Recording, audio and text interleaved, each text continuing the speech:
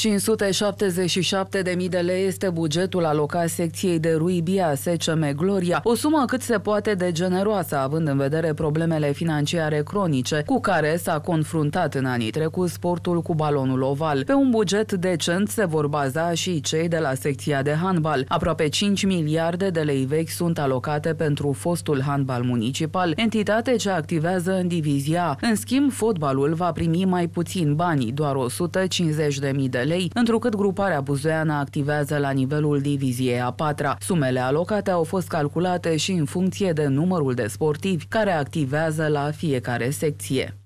Este de uh, 577 de lei, 577 de mii lei, iar la handbal este 600, cât este? 480.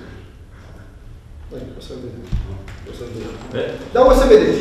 O să, o să apară, deci, după, după 21, uh, e 150. Nu putem face comparație. Chiar nu putem să facem comparație. Locul la noi, într-adevăr, este foarte subțire, foarte ce ar trebui să fie. Normal, un lot, un lot în regulă ar fi undeva la 18 sportive.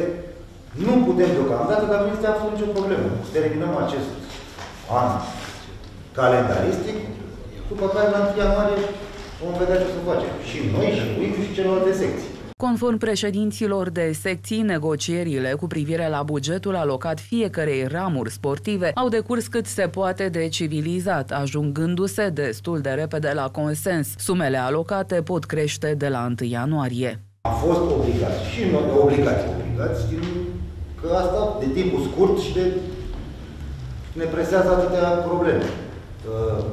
În funcție de bugetul care a fost alocat, bineînțeles fiecare secție și-a negociat necesar. E bun răspunsul. Fiecare secție, parte și-a negociat că am mai tăiat eu, că am mai adăugat nu știu cine, că am mai... Într-un final, noi E o singură problemă, ca să ne înțelegem la început. Asta să nu credeți. Scuze, să definitivez lotul. Uh, am 16-17 sportivi. Atât. În rest, până la 31 decembrie, n-am avea să ne plângem. După 31 decembrie vorbim de altceva.